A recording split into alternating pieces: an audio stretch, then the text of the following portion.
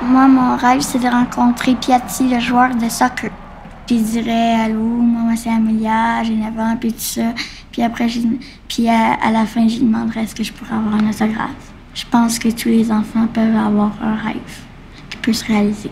Moi, mon rêve, c'est d'être un maître comme fou. J'ai juste un geste, là. C'est mettre les jambes droites dans les airs.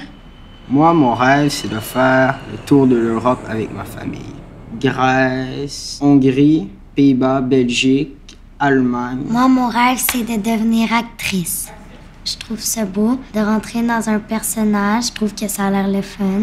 Moi, mon rêve, c'est de devenir gardien de but professionnel de soccer. J'ai des amis qui sont vraiment très, très bons. Moi, souvent, je joue gardien contre eux, puis c'est ça. Moi, mon rêve, c'est de devenir policière pour arrêter les gens pour protéger.